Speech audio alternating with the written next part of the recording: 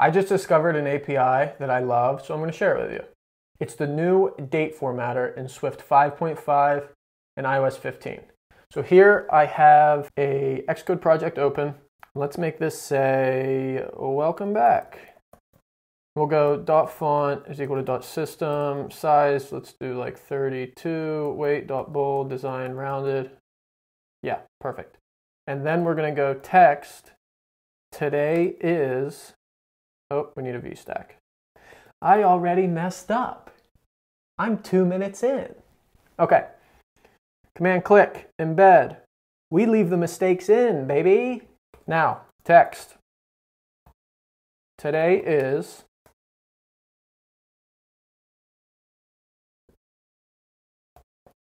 come to the top. We're to go at state uh, variable state var date string is equal to empty string for now.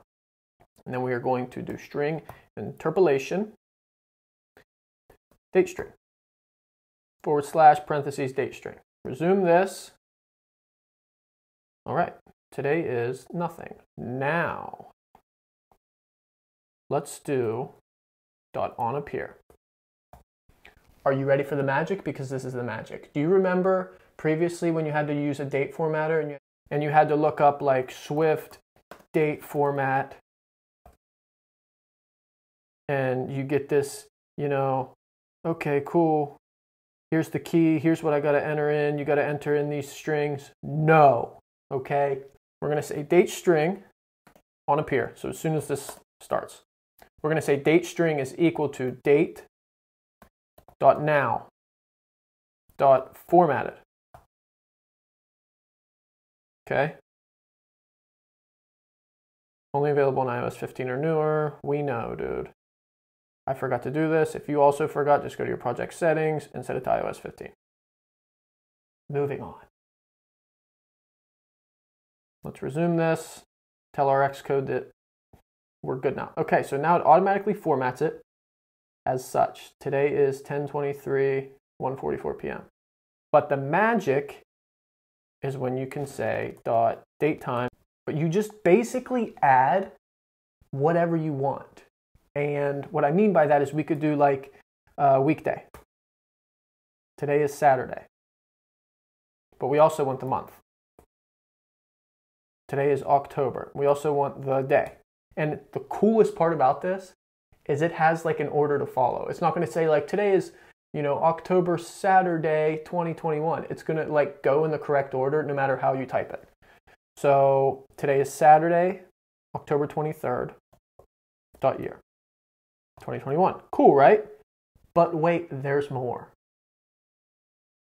Now, we can get in here and say for the weekday. I don't like how it just says sat. So for the weekday, we could do dot wide. Now it's the whole thing. For the month, we could say dot two digits. It's 1023. I don't like that. We're going to say dot wide. Say October. Okay? Day, we can say ordinal date of day and month. What's that mean?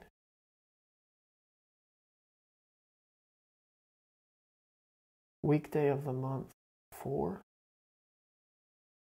Yeah, don't know what that means. I'm Gonna be honest. Uh, we could do two digits for the day, which is it is that now. What's Julian modified?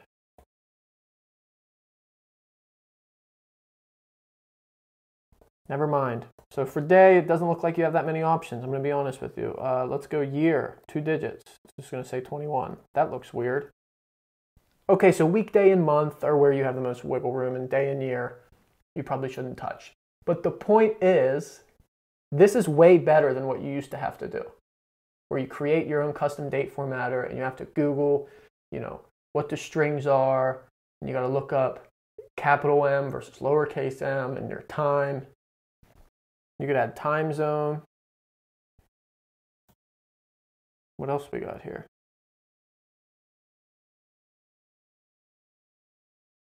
Day of year. We got hour. Oh, crap.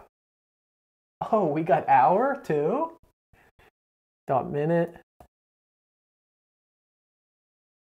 1:48 p.m. See?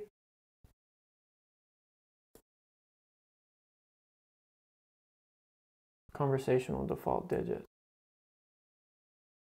Dot y. See, just try this though. Like I kind of just stumbled across this and I love it. Yeah, I'm not going to touch this anymore. Just going to leave it at that. Good news is dates are easier. Thank you, SwiftUI. Thank you, Swift 5.5. Thank you, iOS 15. Here's another video. If you like this, please subscribe.